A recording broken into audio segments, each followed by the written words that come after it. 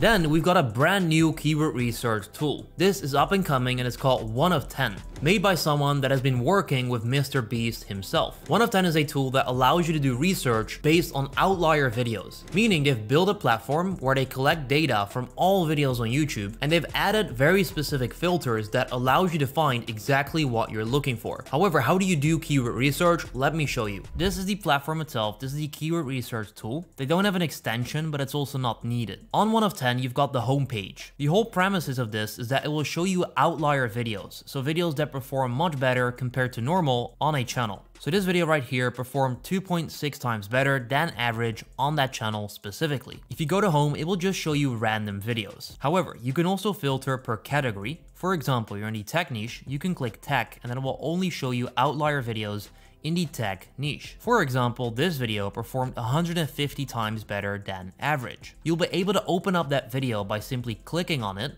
and then as you can see, it will open this up, which will then allow you to analyze it. I actually do so by adding vidIQ to the sauce as well, so that I can take a look at the historical data for this video. Going back to 1 of 10, you may also click on find similars to dive into a rabbit hole. For example, if you want to find more similar content that are outliers based on Google DeepMind as a topic, you can click on find similars and it will dive into that rabbit hole. As you can see, we now get more videos around that topic that also performed well, which helps you analyze whether this topic or niche is trending as of right now, which honestly I think is a really cool idea. You'll be able to save those as well by clicking on bookmark and then adding it to one of your folders. If you then go to saved right here, that will indeed show up with all of the videos that you added inside that folder. Apart from clicking on an industry, you can also filter this. If you click on filters, it will open up the following filters. And there's quite a lot of them, which is good. Starting off with the multiplier rate. So how much better did those videos perform compared to usual on a channel? If I set this at 4, I'm only going to see videos that performed 4 times better than normal for a channel, which by default is going to show me viral video topics. I can also filter on a minimum amount of views, for example 50,000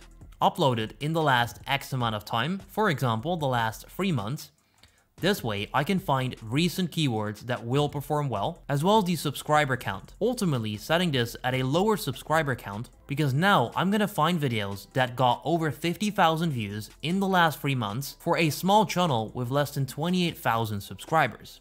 Click apply changes and those videos will now show up. And then when it comes to keyword research specifically, they've got the search bar right here. Just like on the other tools, I will now search for AI, and these are the videos that show up regarding that. Now, as you can see, this is a totally different concept than the previous two tools, because this is not really going to show you keywords itself, but rather videos including your keyword that performed well. So all of these are AI videos that perform better than usual for a channel, which allows you to find video ideas that are proven to do well. Additionally, I can then go to filters again, put my multiplier, subscriber count range, as well as the publication date, and then as you can see, these are very very well performing videos in the AI space. An example would then be AI animation generator, which I can click to analyze the video and see what it's about, as well as click on find similars to see if there are more videos like this that perform really well. And as you can see, there are 38 times better, 6 times better, 21 times better, all about AI animation videos. And because of that, I have now found this video topic right here that has been doing well for other channels. And that's how you can start finding video ideas slash keywords with the 1 of 10 tool. In case you want to try out 1 of 10 yourself, I'll leave my personal link in the description down below for you, as well as a full tutorial about this platform. Well, let's wrap up my conclusion for this tool. Overall, 1 of 10, in my opinion, is a great tool for overall research